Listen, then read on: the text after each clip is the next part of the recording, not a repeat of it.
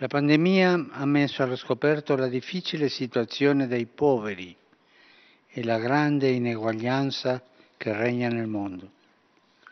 Il virus, mentre non fa eccezioni tra le persone, ha trovato nel suo cammino devastante grandi disuguaglianze e discriminazioni e le ha aumentate. La risposta alla pandemia è quindi duplice. Da un lato è indispensabile trovare la cura per un virus piccolo ma tremendo, che mette in ginocchio il mondo intero. Dall'altro dobbiamo curare un grande virus, quello dell'ingiustizia sociale, della disuguaglianza di opportunità, dell'emarginazione e della mancanza di protezione dei più deboli. In questa doppia risposta di guarigione c'è una scelta che secondo il Vangelo non può mancare, l'opzione preferenziale per i poveri.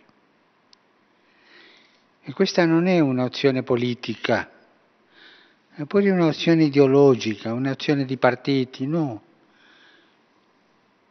L'opzione preferenziale per i poveri è al centro del Vangelo. Il primo a farlo è stato Gesù, abbiamo sentito nel brano della lettera ai Corinzi che è stato letto all'inizio. Lui essendo ricco si è fatto povero per arricchirci a noi. Si è fatto uno di noi e per questo al centro del Vangelo c'è questa opzione, al centro dell'annunzio di Gesù. Cristo stesso, che Dio, ha spogliato se stesso rendendosi simile agli uomini, e non ha scelto una vita di privilegio, ma ha scelto la condizione del servo. Annientò se stesso, facendosi servo. È nato in una famiglia umile e ha lavorato come artigiano. All'inizio della sua predicazione ha annunziato che il regno di Dio, i poveri sono beati Stava in mezzo ai malati, ai poveri, agli esclusi, mostrando loro l'amore misericordioso di Dio.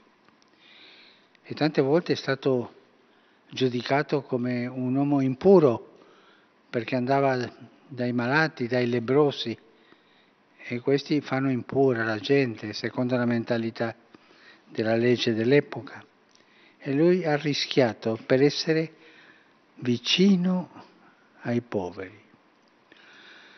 Per questo i seguaci di Gesù si riconoscono dalla loro vicinanza ai poveri, ai piccoli, ai malati e ai carcerati, agli esclusi, ai dimenticati e a chi è privo del cibo e dei vestiti. Possiamo leggere quel famoso protocollo sul quale saremmo giudicati tutti, saremmo giudicati tutti. Matteo 25. Questo è un criterio chiave di autenticità cristiana.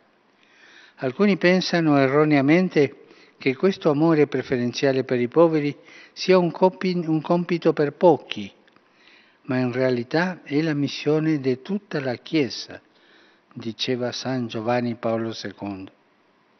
Ogni cristiano e ogni comunità sono chiamati ad essere strumenti di Dio per la liberazione e la promozione dei poveri.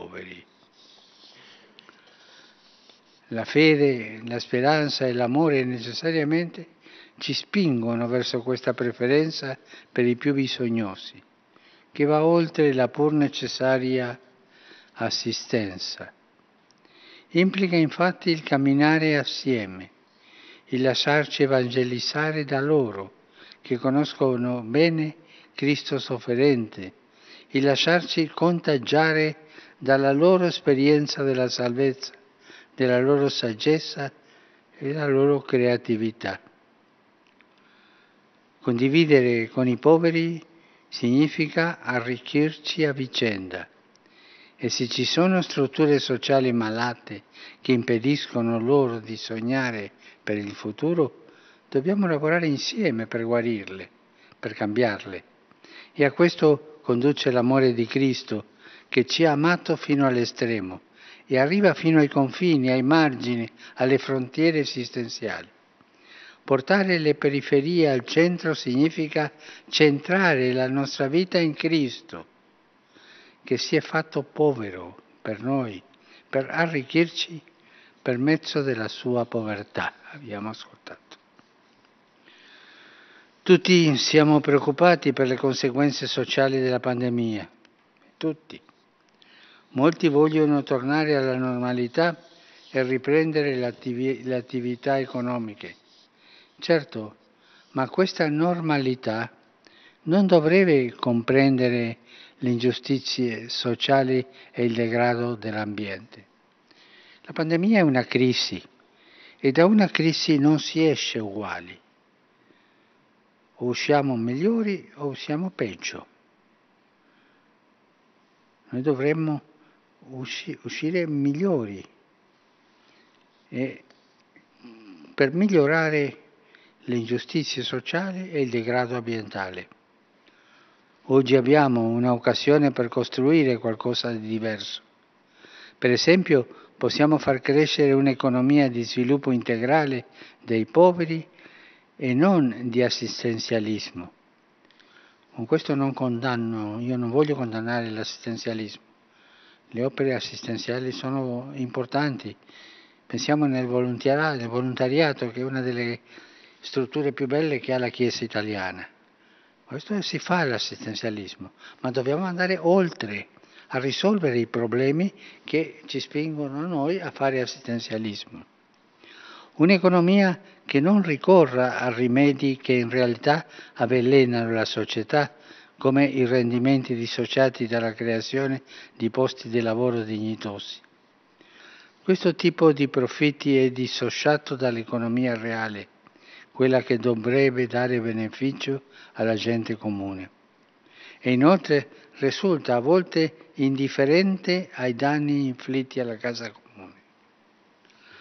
L'opzione preferenziale per i poveri, questa esigenza etico-sociale che proviene dall'amore di Dio, ci dà l'impulso a pensare e disegnare un'economia dove le persone e soprattutto i più poveri siano al centro e ci incoraggia anche a progettare la cura del virus privilegiando coloro che ne hanno più bisogno.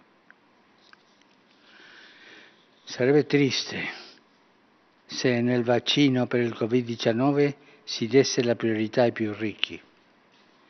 Sarebbe triste se questo vaccino diventasse proprietà di tale o quale nazione non sia universale e per tutti.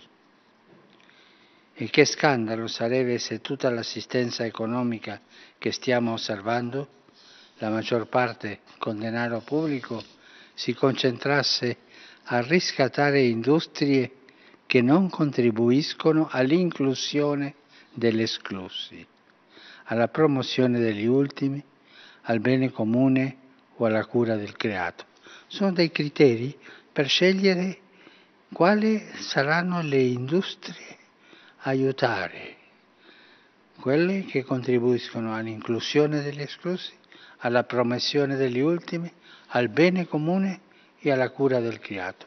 Quattro criteri. Se il virus dovesse nuovamente intensificarsi in un mondo ingiusto per i poveri e più vulnerabili, dobbiamo cambiare questo mondo. Con l'esempio di Gesù, il medico dell'amore divino integrale, cioè della guarigione fisica, sociale e spirituale, com'era la guarigione che faceva Gesù.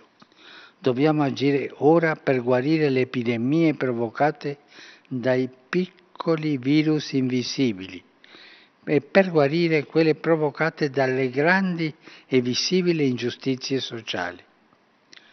Propongo che ciò venga fatto a partire dall'amore di Dio ponendo le periferie al centro e gli ultimi al primo posto. Non dimenticare quel protocollo sul quale saremo giudicati. Matteo 25. Mettiamolo in pratica in questa ripresa dalle epidemia.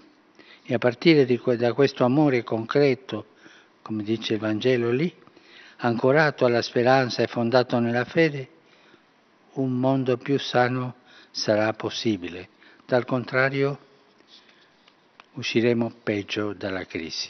Che il Signore ci aiuti, ci dia la forza per uscire migliori, rispondendo alle necessità del mondo di oggi. Grazie.